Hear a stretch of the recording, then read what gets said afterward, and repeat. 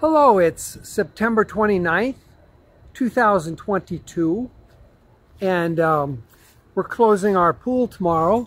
So I just wanted to do a quick video on the state of the pool. You see it's, it's very clean and got the cleaning robot running right now and it's nice and clean and chlorinated. Uh, most importantly, you see this is the water inlet right here and the, the pressure is good. The flow coming out is good. Um, where is the hole? Hole's right here.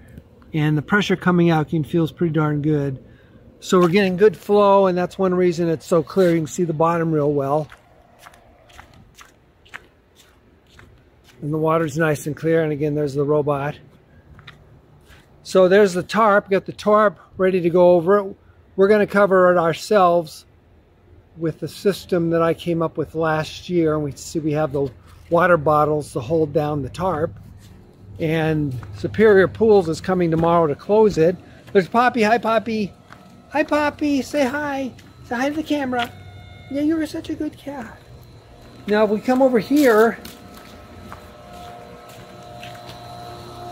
I fixed the pool earlier in the year there was an electrical problem and um, we've got some leakage now. Now we don't use this is part of a cleaner that we really don't use or need but you can see there that it's got a leak somehow. That's the biggest leak is right there. And then there's a smaller leak coming out of the filter. Let's see, let's see if we can see that. There it is so it's a much smaller much smaller leak coming out of the filter. Now I backwashed the filter a few times and it's working well and the pressure's pressure's good. So we've got a couple leaks which is keeping not really affecting the system but it's kind of keeping the concrete wet here. And one is from this unit again that we don't even use. It's kind of an ancillary cleaner that we don't really need because we've got our own cleaning system now that works real well between the robot and then yeah we use uh, these chemicals and we have a brush and a brush and a skimmer that we've learned to use well. So yes, hi Poppy. Hi, say hello to the camera again. Good. So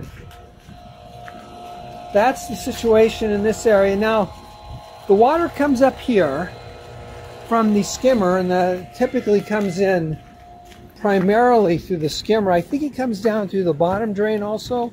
I'm not sure. That bottom drain might just be for draining. I'm not sure water flows through that. That might just be for draining. I'm not sure. But at any rate, it does come in through the skimmer here. You can see that right here, the skimmer. And that's also a chlorine dispenser that we have. So we come back now to the area where the machinery is. The water comes up here, goes through this pump, through the pump. The pump pumps it up through the filter, and this is kind of a backwash system. And the backwash runs through this this pipe here, and then we have an extension for that pipe here. And then once it comes through the filter normally it goes around through here through this pipe which then goes into our heater right here. And then the heater once it goes through the heater it comes here and back down here to the pool. So the water is running fine through the heater and if we're not doing so, we wouldn't have the pressure um, in the pool, the water coming out well through the pool at a good pressure and the pressure here. Hi Juliet, how are you?